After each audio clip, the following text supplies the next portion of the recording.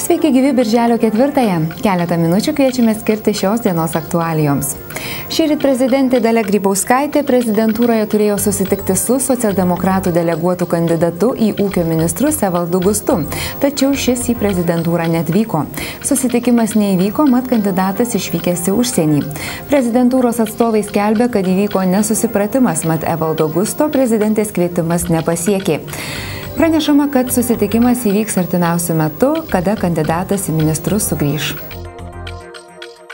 Po pastarosiomis savaitėmis įvykdytų kelių didesnių kibernetinių atakų prie žiniasklaidos ir valstybės institucijos interneto svetaines, prezidentės Dalios Grybauskaitės inicijuotame susitikime dėl kibernetinio saugumo buvo aptarta, kaip atsakingos institucijos pasirengusios užtikrinti valstybės informacinių išteklių apsaugą, kokios yra informacinės saugos spragos.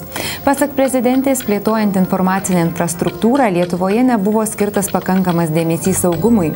Į jį žiūrima pernelik primityviai, nėra koordinuotas elektroninių ryšių tinklų ir informacijos saugumo strategijos.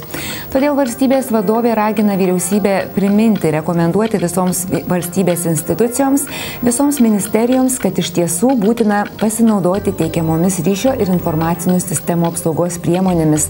Taip pat siūlo atnaujinti 2009 metais parengtą elektroninių ryšių tinklų ir informacijos saugumo įstatymą bei teikti jį skubos tvarka Seimui. Tuo metu specialistai pripažįsta, kad nuo kibernetinių atakų apsaugotos apie pusę valstybės institucijų. Taip pat teigiama, kad šioje srityje trūksta tinkamų specialistų. Artimiausių metų rengiam atitinkamus nutarimo projektus vyriausybėje, kur bus pateiktos konkrečios rekomendacijos valstybinėm įstaigom, kaip organizuoti savo saugumą artėjančio pirmininkavimo metu. Taip pat stengsimės kuo greičiau susitvarkyti su jau minėtų parengtų įstatymo projektų ir tikimės jį pateikti Seimui dar besibaigiančioje šitoje pavasario sesijoje.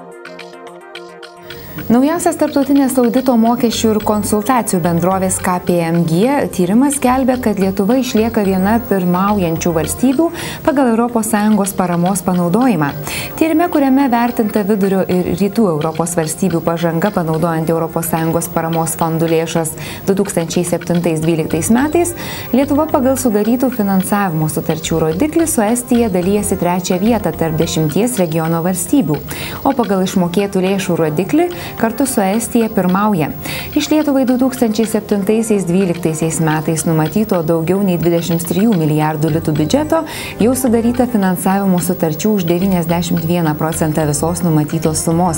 Geresni pasirašytų finansavimo sutarčių rodiklį pasiekė tik Bulgarija ir Latvija.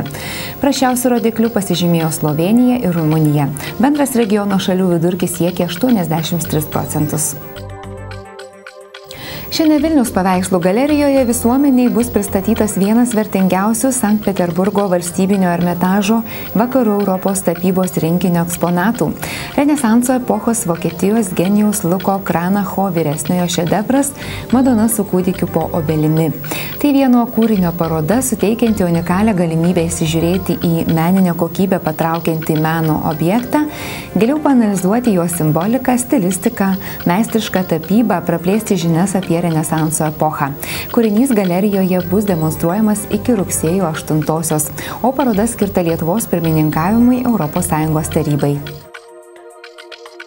Lietuvos futbolo rinktinės, na, o šiuo metu Lenkijos klubo Belhatovo giekyje žaidėjas Emilijus Zubas pripažintas geriausių Lenkijos pirmenybių vartininku. Nors Emilijos klubui ir nepavyko išsaugoti vietos ekstraklasą lygoje, Lietuvos rinktinės vartininkas pastarąjį pusmetį tiesiog žibėjo. Per pusę sezono praleido tik 11 įvarčių.